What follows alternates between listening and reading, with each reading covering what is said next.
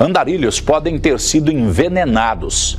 Há uma probabilidade grande de que marmitas com veneno tenham sido repassadas para andarilhos. Dois deles morreram e um teve uma evolução muito, muito rápida. Ele chegou se queixando de algumas coisas e dali a pouco morreu dentro da UPA. O segundo andarilho, que foi internado no hospital universitário, também evoluiu e evoluiu gravemente para a morte, mas ficou alguns dias, aguentou alguns dias a mais, mesmo estando entubado na UTI. E tem um terceiro que está também internado, que este já não tinha convívio com os outros dois. Ele estava inclusive em pontos diferentes na hora que comeu. Pode ser que seja mesmo veneno, pode ser que seja a mesma coisa, pode ser outro tipo de questão. O Instituto Médico Legal ainda não expediu um laudo conclusivo para o que aconteceu, mas a Delegacia de Homicídios já tomou a frente disso e já está fazendo investigações tratando supostamente de que realmente fosse um envenenamento o que teria acontecido com estes três andarilhos.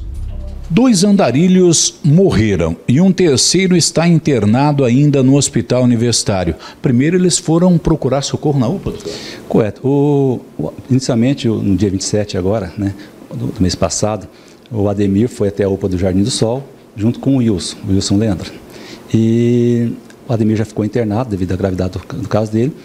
E, mas no final da tarde, por volta das 14h40, 15 horas, o Wilson Leandro retorna também à UPA do Jardim do Sol, é, reclamando dos mesmos sintomas. E acaba sendo internado. Infelizmente, o, o, os dois vão óbito. No caso do Wilson Lando, ele resistiu um pouco mais, ficou até o dia 30. Eu tentei até conversar com ele lá na, na, na, UPA, na, na UTI do, do HU, mas ele estava entubado, não tinha condições de, de prestar nenhum tipo de declaração. Tem um terceiro andarilho que continua internado? Tem. O, o, o Vanderlei Ivani, ele, ele foi procurou assistência lá na, na UPA do Jardim Jardim Sabará, né, ali na Avenida Arthur Thomas, ele está internado ainda. O que chama atenção nesses fatos é o seguinte, o, o Ademir e o, e eles eram, conviviam juntos. E os sintomas é, procuraram a mesma UPA, tal, né? então eles, eles tão, têm uma relação próxima.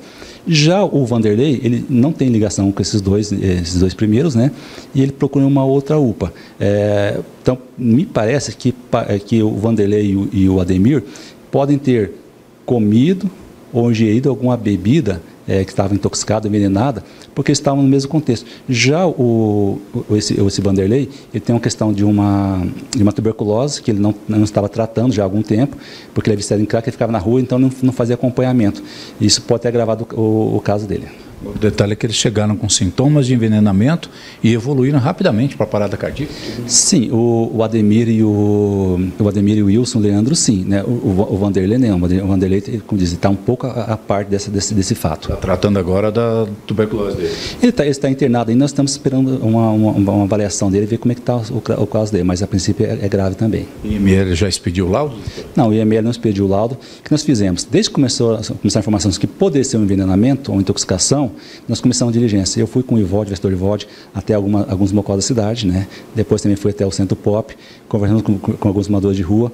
Eles falaram que talvez poderia ser alguma marmita que, que alguém entregou para eles com, com veneno. Só que também eu, é uma possibilidade, claro, mas é também, nós, se eu pensar que o Ademir tem, é, ele tinha, ele era alcoólico, ele é alcoólatra, né?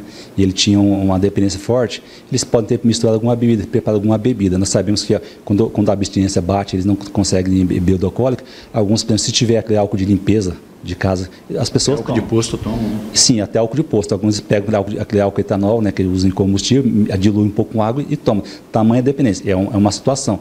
Claro que a hora que o, ficar o, o laudo de necropsia pronto, o problema é que esses laudos precisam ir para a cutia porque foram, foram tirados é, amostras do, do corpo, né? Para mandar para o cutia para tentar determinar o que, o que, tem de substância ali no, no corpo de, diferente que possa ter causado a morte. No hospital ou na UPA, quando eles chegaram, eles não relataram para os médicos? Não, eu tive acesso ao, ao prontuário, né? É, o que eles relatam não, não falam o, o, que, o que, qual poderia ser a causa. Então nós não descartamos nenhuma possibilidade. Pode ser uma intoxicação, envenenamento acidental? Pode.